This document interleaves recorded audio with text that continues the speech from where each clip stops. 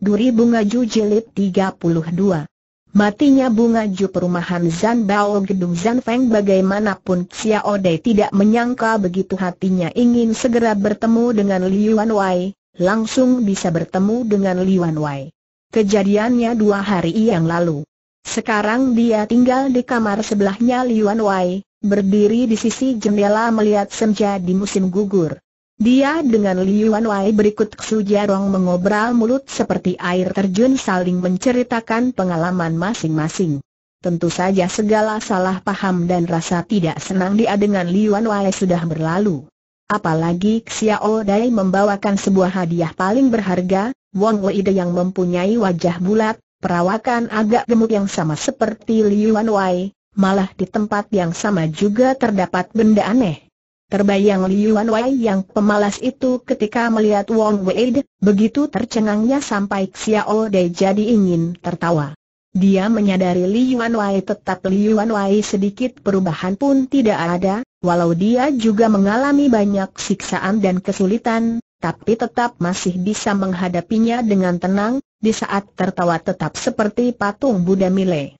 Tentu saja Xiao Dai juga mengerti bukan watak dia biasa berbuat begini, sebab utamanya mungkin dia telah menemukan cinta ketiga.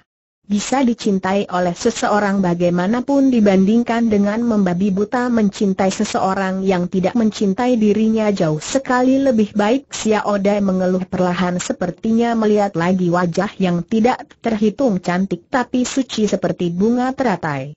Dia tahu walau mengeliling dunia, juga akan sulit mendapatkan wanita seperti dia. Kepompong sutra, kepompong sutra setelah mati baru sutranya habis.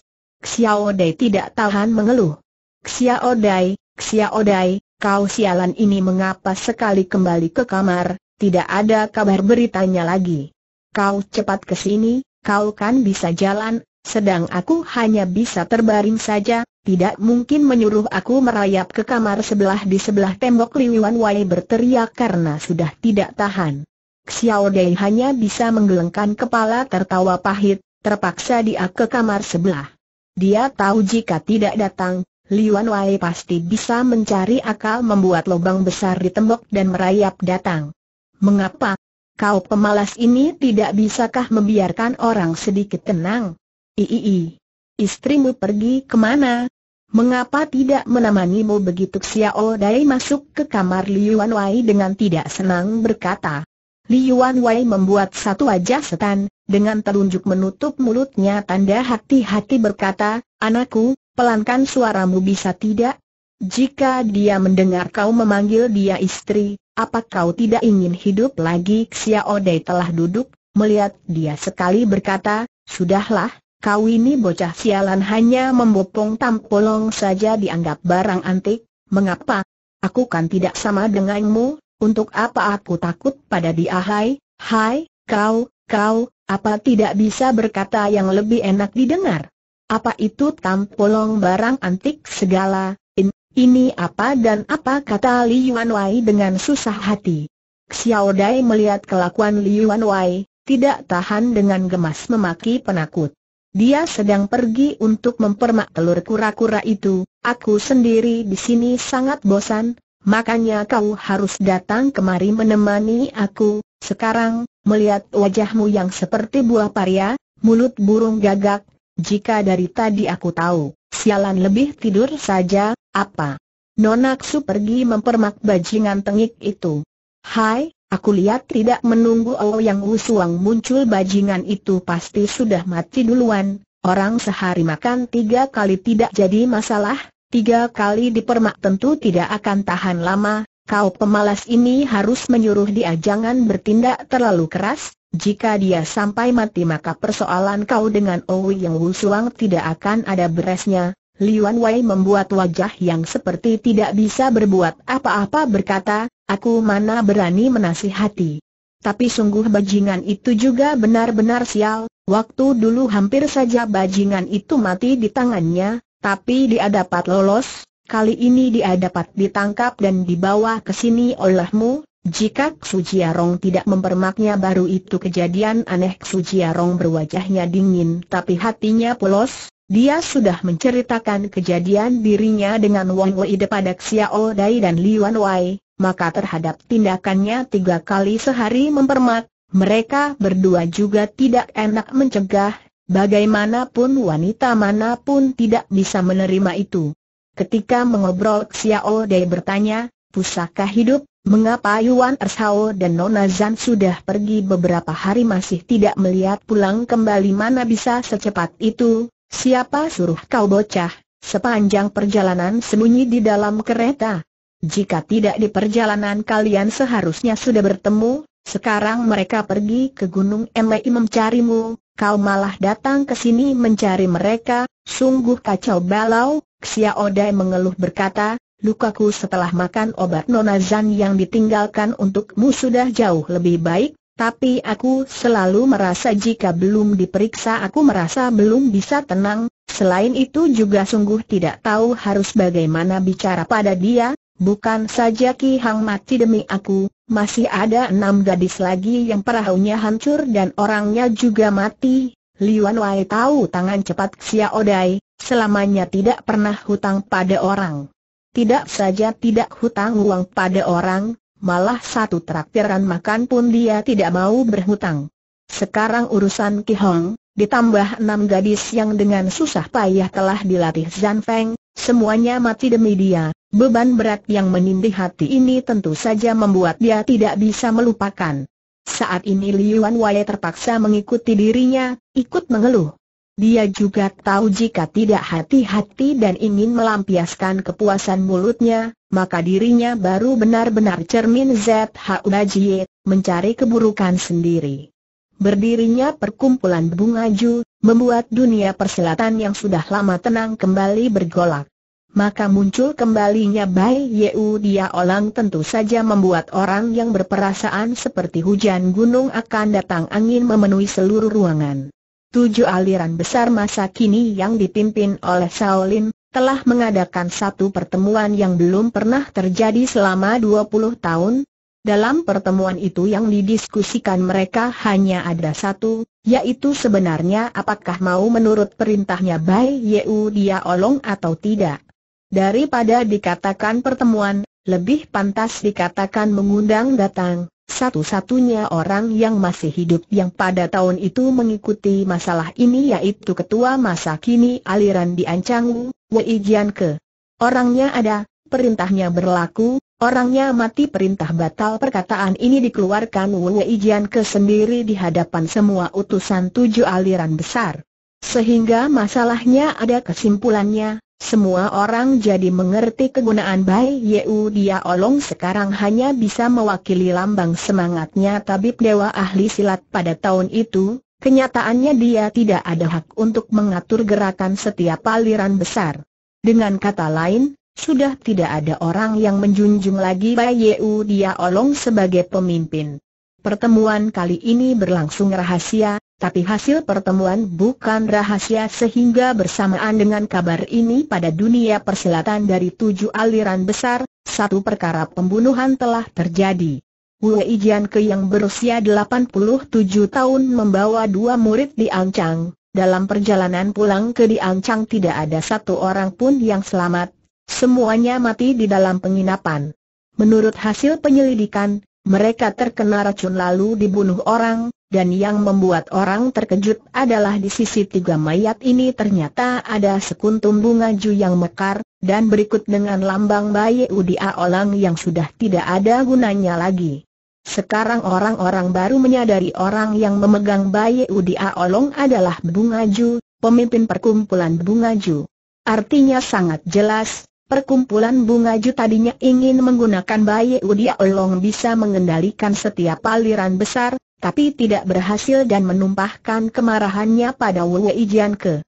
Sehingga terhadap organisasi perkumpulan Bunga Ju yang misterius ini, setiap aliran putih sudah timbul gerakan untuk membasminya. Namun siapa anggota perkumpulan Bunga Ju? Siapa Bunga Ju? Satu-satunya jejak hanya bisa didapat dari satu pertempuran di Bukit Tanah Kuning, karena Kong Ming, Kong Ling dari Shaolin dan Song Hua Dao Zhang dari King Chang mendengar Yuan Ershao Yuan Ling menyebutkannya. Matahari yang lewat tengah hari, di musim gugur menyorot di tubuh orang masih terasa hangat. Hari ini bunga ju di dalam kebun setiap kuntungnya terlihat mekar sangat indah. Saat ini adalah waktu tidur siang, setiap orang yang tidak ada pekerjaan semuanya sedang istirahat. Xiao Dai seorang diri bermain-main di lautan bunga ju, sambil memikirkan masalahnya. Lukanya sudah sembuh 7-80 persen, walau hanya 7-80 persen, sudah cukup menghadapi pesilat tinggi ternama di dunia persilatan, karena nama tangan cepat Xiao Dai dalam beberapa kali pertempuran ini sudah seperti matahari di tengah langit, dia punya semangat tempur, ilmu silat yang tinggi, di dalam dunia persilatan sudah membuat orang yang mendengar saja menjadi ketakutan, Bagaimanapun dia seperti kucing, punya sembilan nyawa, dengan keadaan bagaimanapun tidak bisa membuat dia mati. Aliran udara mendadak seperti berhenti, Xiao Dai mendadak juga merasakan hawa kematian memenuhi lautan bunga ju. Dia tenang menunggu, bersamaan itu sepasang tangannya sudah dimasukkan ke dalam lengan bajunya, ditopang di depan dada, ini adalah tanda bersiap menyerang, juga siap membunuh orang. Dia tidak tahu siapa orangnya yang datang, dan ada berapa banyak. Namun tekanan perasaan yang terasa sangat besar, membuat orang sulit bernafas, terbayang orang yang datang pasti tidak sedikit. Dan juga pasti semuanya pesilat tinggi ada beberapa lembar bunga ju jatuh tanpa tertiup angin. Bunga jatuh orang bergerak, puluhan bayangan orang seperti setan tiba-tiba muncul. Walau kenalan lama, di dalam hati Xiao Dai malah sudah tahu tujuan kedatangan mereka. Ouyang Wu Suang di bawah kawalan orang datang menghampiri, wajahnya sedikit pun tidak ada ekspresi, di dalam matanya juga tidak ada perasaan.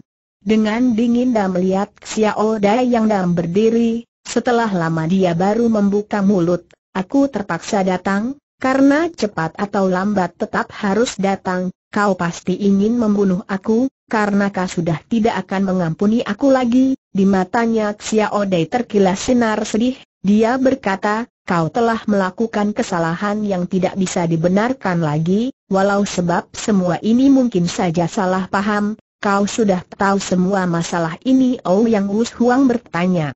Benar, malah sudah tahu hal yang kau tidak tahu. Kau tahu mengapa aku mau membunuh Li Yuan Wei benar, tapi aku bisa beritahu orang itu sama sekali bukan Liuan Wei, bohong yang sangat lucu, kau tidak percaya, ada semacam sikap yang tidak dapat berbuat apa-apa. Tiba-tiba muncul, Oh Yang Wu Suang berkata, pembicaraan ini sudah tidak ada gunanya lagi, juga tidak bisa merubah kenyataan yang telah terjadi, benar, ini sudah tidak ada artinya, juga tidak bisa merubah kenyataan yang telah terjadi, Xiao Dai teringat Ki Hong. Sayang aku tidak tahu dulu sebabnya kau ingin membunuh Li Yuan Wei, jika tidak mungkin masalahnya akan berbeda, Xiao Dai berkata lagi, mengenai kau menimpakan semua padaku, aku bisa tidak pedulikan, tapi terhadap kematian seorang wanita yang tidak berdosa, aku tidak bisa begitu saja tidak memperdulikan, aku tahu, itu juga sebabnya aku datang, sekarang sudah tidak ada rahasia lagi, mengapa tidak panggil keluar Yuan Wei dan wanita itu, hari ini kita harus menyelesaikan semua persoalannya, tidak peduli kalian yang mati, atau aku yang meninggal, Xiao Dai melihat orang-orang di sekelilingnya, dia terkejut melihat orang-orang ini semuanya adalah penjahat besar Jiang ternama di dunia persilatan. Ada sedikit kesedihan tergambar, dia berkata, apakah orang-orang ini semuanya anggota perkumpulan bunga ju? Apa kau juga benar-benar adalah bunga ju terhadap orang lain aku sama sekali tidak akan mengaku, karena waktunya belum sampai, tapi terhadap kau, aku dengan senang hati mengakunya, karena, karena apa? Dia tidak mengatakan. Betulkah karena dia telah memandang Xiao Dai adalah orang yang segera akan mati? Xiao Dai juga tidak memperdulikannya, dengan dia tawar berkata, luka Liuan Wei lebih parah, sementara aku tidak mau mengganggu dia dulu, aku pikir kau sudah datang ke sini, tentu saja tidak takut dia melarikan diri, betul tidak tentu saja, bagaimanapun hari ini pasti ada penyelesaian, Hanya saja aku sama sekali tidak terpikir persahabatan kalian sama sekali tidak ada cacatnya, aku sangat terkejut, aku sudah tidak ada musuh, mana bisa kehilangan teman lagi? Apalagi kau seharusnya terpikir di antara teman mungkin sesaat bisa salah paham jadi bermusuhan, tapi salah paham pasti pada satu hari akan bisa diuraikan, tidak ada musuh. Apakah Xiao Dei sudah memutuskan akan membunuh Ouyang Wuswang? Kalian bertiga kebetulan berada di Chuan San, yang tidak beruntung adalah aku telah memilih di sini sebagai berdirinya perkumpulan bunga ju, di tempat tidur mana bisa membiarkan orang tidur nyenyak. Ada satu perkataan bagus mengatakannya, kau adalah Ding, tempat menancapkan hiu yang besar yang ada di depan rumah, Liuan Wai adalah Tiang, Siapa yang ingin ternama di daerah sini, pasti harus merangkul kalian berdua, apa boleh buat aku pasti harus membunuh Li Yuan Wei, tapi juga tidak bisa merangkul kau, makanya aku terpaksa membasmi kalian. Mengenai Yuan Ershao kami sangat mengaguminya, dia malah bisa membuat Yuan Di jadi gila. Berikut dengan wanita yang di tengah jalan mengundurkan diri, Jean Feng, masalahnya sudah sampai di sini, tidak ada gunanya dibicarakan lagi. Xiao Dai mengeluh sekali berkata, maukah kau ikut aku melihat seseorang siapa seorang yang kau sama sekali tidak bisa terpikir, tentu saja jika kau merasa punya keberanian, seperti yang kau katakan, bagaimanapun sudah tidak bisa merubah kenyataan yang sudah terjadi, seorang yang bisa memimpin perkumpulan bunga ju pasti bukan seorang penakut. Ouyang Wu Suang juga tahu tangan cepat Xiao Dai tidak pernah menggunakan siasat licik menghadapi musuhnya, sehingga dia itu berani mengikuti Xiao Dai masuk ke sebuah kamar. Matahari sore hari di musim gugur tetap hangat. Baju putih Hong Yang Wu Suang telah penuh dengan bercak darah, dia kembali ke tempat semula dengan Xiao Dai. Baru saja dia telah menggunakan pedang pendeknya mencincang orang yang mirip Liuan Wei menjadi daging cincang. Tentu saja dia juga sudah mengerti sebuah kenyataan. Anggota perkumpulan bunga ju yang datang bersama Yang Wusuang siapa pun tidak tahu apa yang telah terjadi, mereka hanya tahu tujuan mereka datang adalah harus membunuh tangan cepat Xiao Dai dan Liuan Wei. Sehingga di dalam mata setiap orang niat membunuhnya tetap masih membara, karena lawan mereka bukanlah lawan yang enteng, hanya dengan mempertahankan semangat tinggi, baru bisa membunuh musuhnya. Sehingga hawa pembunuhan semakin kental Lau yang Wusuang tidak bicara, tapi melihat wajahnya yang naik turun bergejolak, dalam hatinya sedang terjadi pertentangan. Apakah pertarungan akan segera dimulai? Mengapa dia tidak bisa mengendalikan emosi yang bergejolak? Sepasang tangan Xiao Dei tetap dimasukkan ke dalam lengan baju ditopang di depan dada, dia sedang menunggu, menunggu pertempuran yang tidak tahu kapan akan dimulainya, dia juga tahu pertempuran hari ini sekali dimulai pasti sengit, setelah selesai pasti ada yang tewas. 12 banding 1, perbandingan yang tidak seimbang. Xiao Dai mengenal 12 orang itu, 12 lawan yang jika diingatnya akan menakutkan, maka dia juga tahu dirinya tidak yakin dalam pengepungan ini masih bisa selamat. Menunggu adalah satu siksaan, apalagi menunggu kematian. Kening setiap orang sudah tampak sedikit keringat, setiap orang juga mengerti hidup dan mati segera akan ditentukan. Tangannya Ou yang mencabut sebilah pedang. Wusuang. Dengan pelan. Di saat yang tegang ini, Xiao Dei walau di dalam hatinya merasa tidak mengerti juga tidak ada waktu untuk memikirkannya.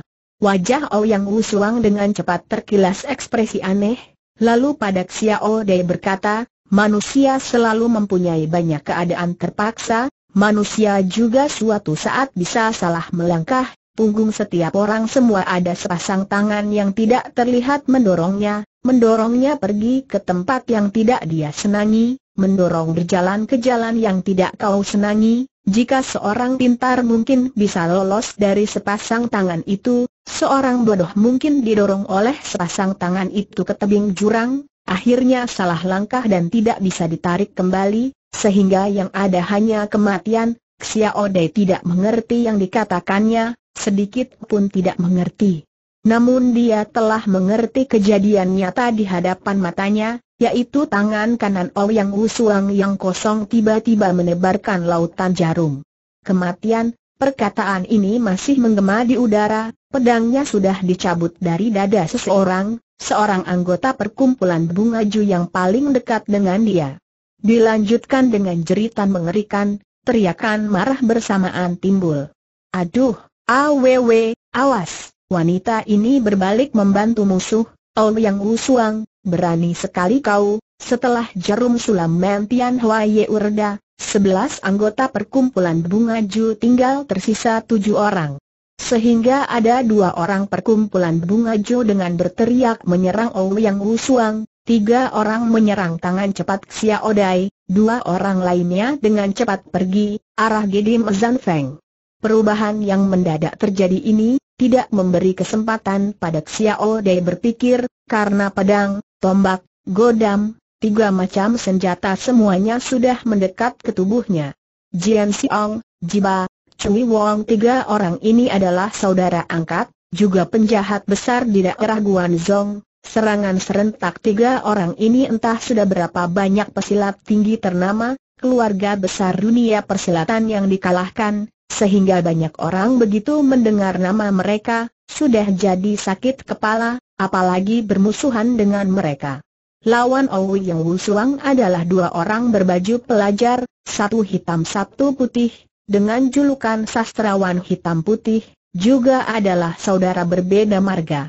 Sastrawan putih Siksiang, sastrawan hitam Gu Zuoyai, dua orang karena kejamnya, liciknya jadi ternama, Jujur saja, Yang Wusuang satu lawan satu mungkin ada harapan menang, tapi jika dua orang ini bersatu maka dia pasti kalah.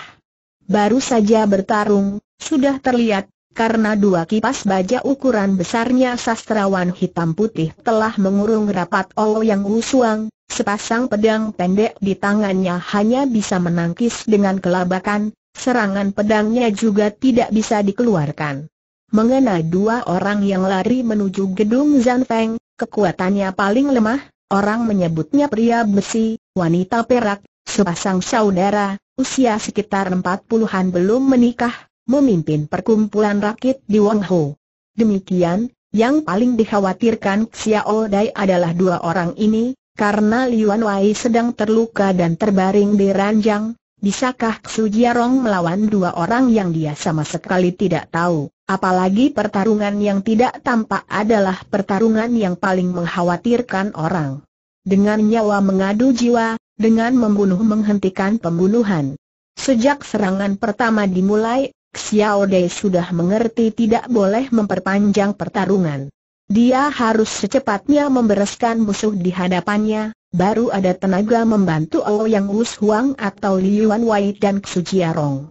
Namun pedang, tombak, Godam tiga macam senjata ini saling menutup tidak ada celahnya, dengan rapat menyerang, kerjasama yang erat, Xiao Dei kecuali terkurung tidak ada akal untuk mengalahkan musuhnya. Darah telah mengalir, yang mengalir adalah darahnya Oh Yang Wusuang. Ketika kipas bajaria sastrawan hitam menyabet sisi pinggang Oh Yang Wusuang, bersamaan dengan mengalirnya darah, dia dengan bangga tertawa aneh berkata, pelacur busuk, kau berani sekali di hadapan musuh mengkhianati perkumpulan. Hihi, walau kau adalah pemimpin, tapi sekali masuk perkumpulan bunga ju, tidak peduli siapa pun tidak bisa berubah di tengah jalan, aturannya kau yang buat, akibat buruknya kau coba duluan, darah mengalir lagi, punggung Ou yang Wusuang terluka lagi sepanjang satu C lebih, ini adalah hasil sastrawan putih rambut Ou yang Wusuang sudah berantakan dengan keras berteriak, Ah, Aqua, walau mati, Ju, juga akan mengambil, satu untuk dijadikan tumbal. Beban Owi yang Wusuang, Xiao Dai yang di sisi sudah melihatnya dengan jelas. Dia gelisah, dia marah, tapi dia tidak bisa berbuat apa-apa. Sehingga satu pikiran menakutan terkilas di kepala, dia sudah mengambil satu keputusan. Tiba-tiba dia tidak bergerak lagi, tidak memperdulikan tombak dan pedang menyerang dari belakang. dia seperti jadi gila menerjang masuk ke dalam pelukan Cui Wong yang setelah sekali serangan tidak mengena siap kembali menyerang dengan godamnya. Tidak ada orang yang akan menggunakan jurus yang mematikan ini, karena ini adalah perbuatan gila. Walau dia bisa mengambil kesempatan saat kekosongan mengambil satu serangan mematikan pada Cui Wong, namun dia sama sekali tidak akan bisa menghindar serangan tombak dan pedang di belakangnya. Tapi demi cepat menyelesaikan cerita di sisinya, Xiao Dei sudah tidak ada pilihan, dia juga terpaksa menggunakan jurus berbahaya untuk mendapat kemenangan. Darah menyembur seperti mata air, dari belakang pundak, bagian pantat Xiao Dai, tentu saja juga dari tenggorokan, dadanya Cui Wang. Satu tusukan pedang di pundak belakang, satu tombak di bagian pantat ditukar dengan satu nyawanya Cui Wang. Xiao Dai beruntung dapat menghindar serangan berbahaya di belakangnya, juga mengambil kesempatan di saat pedang dan tombak masuk ke dalam daging dia menggunakan otot karena mendapat luka terjadi kram, mengunci dua macam senjata ini. Membalikan tubuh, pinggang digoyang, dari sudut yang sulit dibayangkan, telapaknya Xiao Dai melewati sisi tubuh memotong masuk ke dalam perut jiba. Ketika Jian Xiong dengan sekuat tenaga mencabut pedang panjang di pundak belakangnya Xiao Dai, dia sudah mendadak melihat tenggorokan Cui Wong menyembur darah, berikut ususnya Jiba sedang bergerak-gerak. Semua ini selesai dalam sekejap. Sekejap ada abadi. Kematian juga abadi. Tangannya tangan cepat Xiao Dai juga adalah abadi. Saat Jian Xiong bengong, mulutnya teriak adik kedua, adik ketiga, suaranya masih berkumandang, telapak tangannya Xiao Dai kembali seperti kilat membelok datang. Buru-buru dia mengangkat pedang ingin menangkis, Jian Xiang kini baru menyadari seberapa cepat tangannya tangan cepat Xiao Dai, juga baru tahu arti sebenarnya telapak pisau sekali keluar nyawa tidak kembali. Karena bersamaan dengan pedangnya baru diangkat setengah jalan, Jian Xiong sudah merasakan sakit dirobek di antara perut dan dadanya, dari ujung kepala sampai ke ujung kaki. Sehingga suara teriakan adik kedua, adik ketiga, mendadak terputus. Jian Xiong selamanya sudah tidak bisa berteriak lagi Xiao Dei selamanya penuh yakin pada sepasang tangannya, dia tahu tidak peduli dalam keadaan bahaya apa pun, asal tangan tidak putus, dan masih bisa bergerak, dia yakin bisa mempertahankan ketenaran telapak pisau sekali keluar, nyawa tidak kembali. Namun terhadap kakinya, dia malah tidak begitu yakin. Karena ketika dia ingin pergi menolong Yang Wus Huang yang dalam serangan dua kipas bajanya sastrawan hitam putih, dia sudah sempoyongan hampir saja jatuh. Tentu saja sebab dia sempoyongan hampir jatuh dikarenakan terluka oleh tombak di pantatnya sampai mengenai tulang. Ini adalah kesalahan yang serius dan mematikan.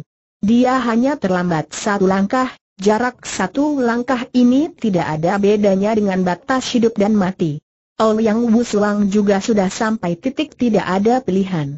Dia memandang dua kipas baja satu atas satu bawah datang memotong melintang, dia sudah tahu pasti tidak bisa menghindar dari serangan berbarengan ini. Sehingga di dalam sekejap dia juga telah memilih pilihan yang paling pailit, dia sudah melepaskan sebelah pertahanannya, bersamaan dengan menahan kipas baja dari atas ke bawah, pedang pendek lainnya dia sudah menusuk ke dalam perutnya sastrawan hitam. Dengan diikuti suara hancurnya tulang, tulang pantatnya Ouyang Wusuang telah hancur, dia duduk di tanah sambil menutup mata, ingin meredakan rasa sakit yang amat sangat, bersamaan juga menunggu serangan mematikan kedua kalinya sastrawan putih Siksiang.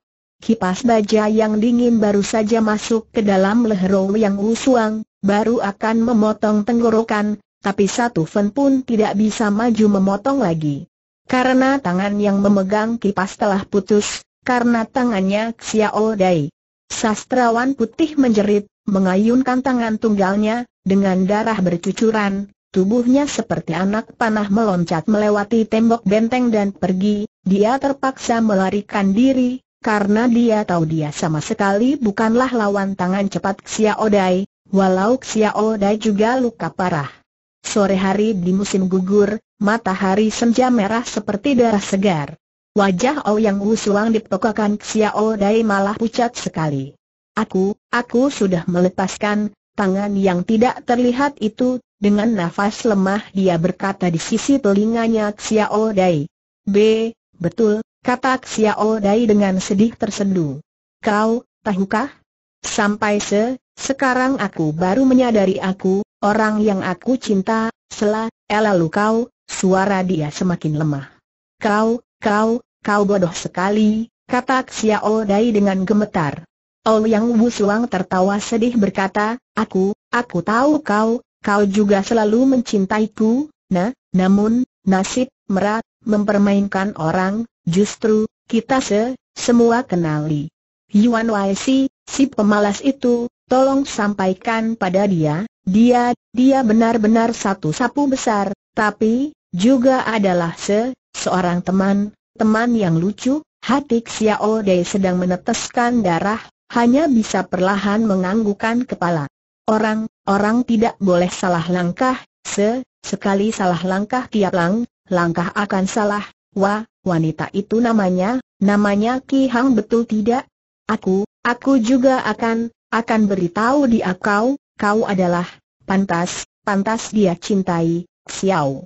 Xiao Dai, ada dia, menemani aku, aku, aku sedih sekali, aku, aku juga akan beritahu dia, rindunya kau pada dia, Xiao Dai dengan serak berkata, aku, aku tahu, aku, aku masih ada satu, satu rahasia yang, yang kau tidak tahu, yaitu aku, aku bukan bunga ju, yang benar-benar bunga Ju, ada orang lain, aku tahu, Yuan sudah jadi gila, perkumpulan bunga Ju juga akan mengikuti gilanya dia, menjadi bubar baru benar, tidak, kau salah, yang benar-benar bunga Ju bu, bukan dia, si, siapa dia, tidak, ada satu orang pun yang, yang tahu, aku, aku dengan dia semuanya, adalah Bo, boneka orang itu, ka, kami se, selalu dikendalikan dia, dia dengan obat.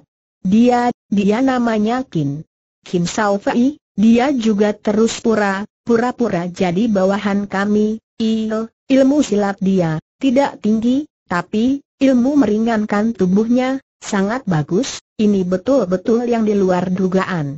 Xiao Dei sudah mengangkat telinganya didekatkan ke mulut Ouyang Wu Suang, orang-orang di perkumpulan bunga Ju, setiap orang, orang juga, dikendalikan, dia dengan, dengan obat, ma, makanya terhadap pemberontakan, aku, mi, mereka jadi ha, harus membunuh ha, aku, kau ha, harus cari, cari, orang itu, ji, jika tidak perkumpulan bunga juse, selamanya akan ada, dia, dia punya tanda khusus apa? Xiao Dai melihat Oh yang Wusuang akan menghembuskan nafas terakhir, tidak terasa dengan keras teriak di sisi telinganya. Memaksa membuka mata, berkata, Ti, tidak tahu. Oh yang, Wusuang, tidak tahu. Xiao Dai sekali mendengar kata ini jadi bengong. Xiao, Xiao Dai, aku, aku ada satu permintaan ter, terakhir, B, beberapa P, pelayan wa, wanita bu, buta aku itu, Mi, mereka semua A, ada satu sejarah yang, yang menyedihkan, kau, kau harus jan, janji pada aku Mi, melepaskan mereka terhadap orang yang segera akan mati Xiao Dai mana tega menolak permintaan terakhirnya. Makanya dia dengan pasti berkata, aku janji padamu, kau, kau tenanglah, di kehidupan ini kita sudah tidak bisa bersama, harap di kehidupan yang akan datang, Oh Yang Wusuang setelah habis mengatakan ini tidak pernah membuka mulut lagi. Dia sudah mati, mati di dalam matahari senja, mati di dalam pelukan Xiao Dai. Xiao Dai perlahan menaruh dia, bangkit berdiri dengan tanpa ekspresi membalikan tubuh, menghadap pada Kong Ming, Kong Ling dan Song Hua Dao Zhang berkata, sekarang giliran kalian, ayo kepala Kong Ming yang botak bersih karena merasa bersalah mulai berkeringat, dia perlahan menyebut Buddha, berkata, Anda, Anda salah paham Pak, pada kedatangan kami, Betulkah Xiao Dai dengan sorot mata hina melihat pada Song Hua Dao Zhang berkata, kau bukan mencari aku ada sedikit rasa tidak senang Song Hua Dao Zhang memaksa menahannya berkata, teman kecil, pendidikanku masih kurang mohon bisa dimaafkan, jika ini juga dianggap minta maaf, maka care perminta maaf ini juga tidak diragukan adalah tidak sepenuh hati. Tapi Xiao Dei sudah menerimanya, karena dia tahu bisa membuat orang seperti Song Hua Dao Zeng mengeluarkan perkataan ini tidak bedanya seperti pohon besi berbunga, seratus tahun pun sulit terjadi. Kalau begitu alasan kalian bertiga datang ke sini aku, aku khusus datang mengembalikan Bai Yeu Dia Olong, untuk keturunannya tabib dewa ahli silat, tidak diduga, tidak diduga malah bertemu dengan Anda, kata Kong Ming. Kalian sudah berapa lama datang? Kami baru saja sampai, cukup, dari kata-kata ini Xiao Dai sudah tahu mereka pasti bukan baru saja sampai. Hanya saja Xiao Dai bagaimanapun tidak bisa mengerti orang yang menyatakan dirinya aliran putih, hanya bisa menonton saja pertempuran berdarah ini terjadi. Jika kalian bisa tenang, berikan saja Bai Yeu dia orang itu padaku, jika tidak silahkan kalian datang lagi di lain hari, cuan rumah tidak di tempat, maaf aku tidak bisa menentukan sendiri menerima tamu, kata Xiao Dai dingin. Di dunia persilatan masa kini orang yang berani berkata dengan nada seperti ini, kelakuan seperti ini pada tiga orang ini mungkin hanya Xiao Dai seorang. Namun tiga orang ini juga malah tidak merasa tersinggung. Hanya orang yang di dalam hatinya merasa bersalah baru bisa tidak tersinggung oleh perkataan ini. Lalu Xiao Dei menerima bayi Udia Olong, dia membalikan tubuh langsung pergi, sampai memandang satu kali lagi juga tidak. Di depan gedung Zan Feng Liuan Wai dengan dibantu oleh Xu Jiarong, telah lama berdiri. Xiao Dei tentu saja tahu Xu Jiarong telah membereskan lawannya, jika tidak dia mungkin sudah dari tadi tidak memperdulikan Kong Ling, Kong Ling dan Song Hua Dao Zhang. Kau, kau tidak apa-apa Li Yuan Wei walau hanya mengatakan perkataan ini, tapi matanya telah memberitahu Xia Odai, yang ingin dia katakan pasti bukan hanya kata-kata ini saja. Dia, dia sudah mati, kata Xia Odai dengan sedih. Tadi saat turun tangga aku sudah melihatnya, Aku sudah membukakan simpul mati untuk kau, terima kasih. Dia ingin aku beritahu kau satu perkataan, perkataan apa saat dia sekarat dia berkata kau adalah sapu besar, bersamaan juga adalah teman yang lucu, tapi aku hanya mengaku kau adalah sapu besar, tapi tidak tahu di mana lucunya dirimu, Mi, mengapa semua masalah ini timbul karena tanda sialan di pantatmu itu? Ini adalah perkataan lucu yang bisa membuat orang mencari gigi di seluruh lantai. Namun Liuan Wai dan Xu Jiarong bagaimana bisa tertawa? Bagaimanapun mereka tahu perkataan lucu ini terbentuk oleh darah dan air matuk Xiao Dai.